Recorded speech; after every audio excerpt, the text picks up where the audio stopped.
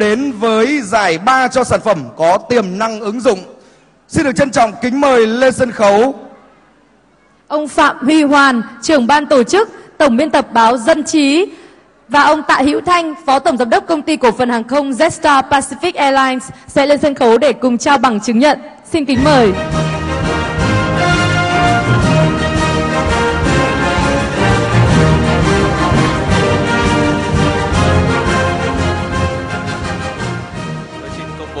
13 cho sản phẩm đã hoàn thiện, có tiềm năng ứng dụng trong lĩnh vực công nghệ thông tin.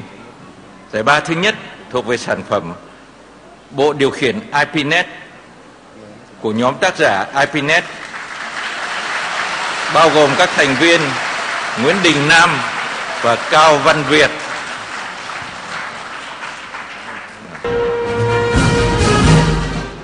Lãng phí điện công, một vấn đề thời sự không còn mới nhưng vẫn luôn nóng hổi 17 giờ ngày 13 tháng 11, trên một tuyến đường cao tốc nọ hay một khu chung cư như thế này, trời vẫn sáng nhưng thành phố đã lên đèn.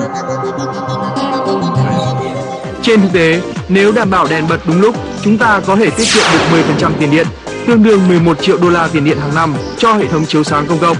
Và bộ điều khiển tiết kiệm điện IPNet đã ra đời.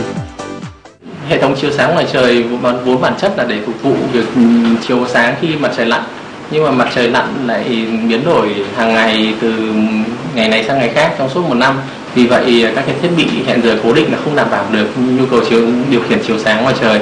Vì vậy, chúng tôi đã áp dụng các cái kiến thức thiên văn học vào để tính toán giờ mặt trời lặn hàng ngày qua đó, điều khiển chính xác cái hệ thống chiếu sáng ngoài trời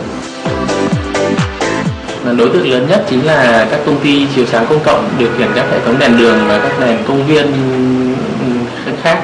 Đối tượng thứ hai là các công ty quảng cáo, có biển quảng cáo ngoài, lớn ngoài trời.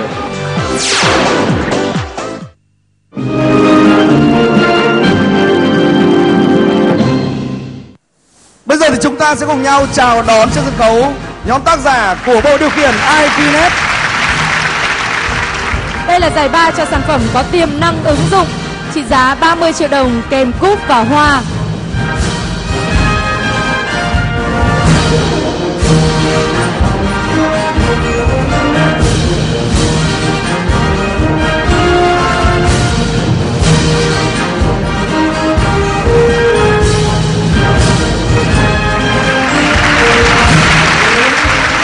Một lần nữa xin chúc mừng cho nhóm tác giả của bộ điều khiển IPNet và xin được trân trọng cảm ơn ông Phạm Huy Hoàn và ông Tả Hữu Thanh.